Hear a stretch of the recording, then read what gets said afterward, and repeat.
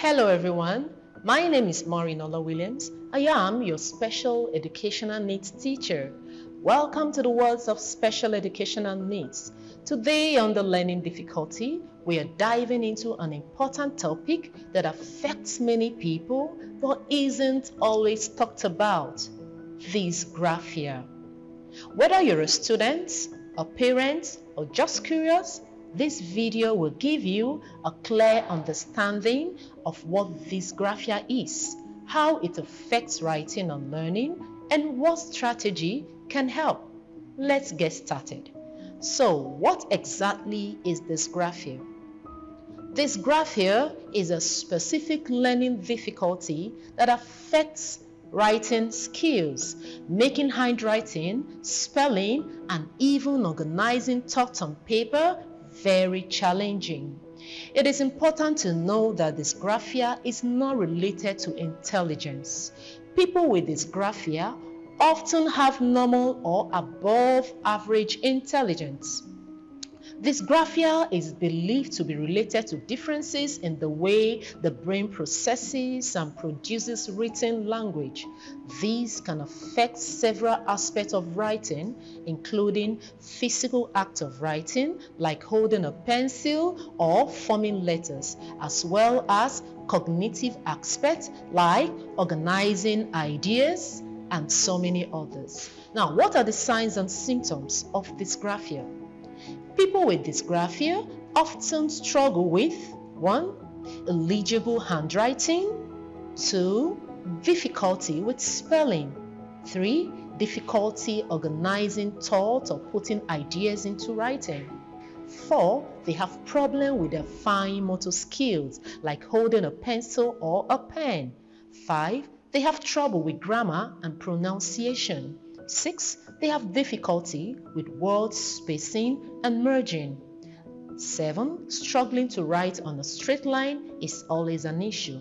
Number 8. Mixing up similar looking letters or numbers and many more.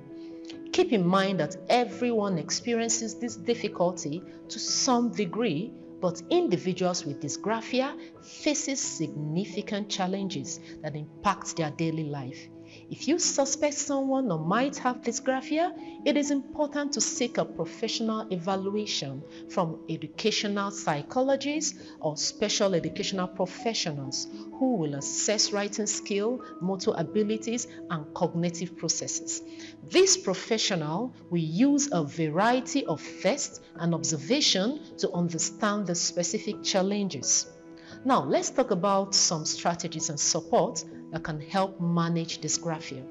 One, assistive technology. Tools like speech-to-text software or word processors with spell check can be very helpful.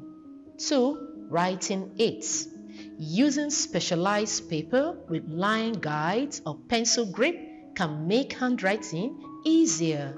Number three, structured breaks. Frequent breaks can help manage fatigue and frustration. Number four, organizational tools like graphic organizers can help in structuring thoughts before writing. Five, alternative formats. Allowing oral presentation or using audio recording instead of written assignments can be very effective. For teachers and parents, here are some few additional tips. You must, number one, encourage practice. Two, be very patient with individuals that are having this challenge. Three, focus on their strengths rather than their weakness. Number four, create a supportive environment. Dysgraphia is more than just a writing challenge. It is a unique perspective, a creative superpower waiting to be unleashed because individuals with dysgraphia are multi-talented they have great artistic ability. They are so good with public speaking and storytelling. They are fantastic in architecture and engineering.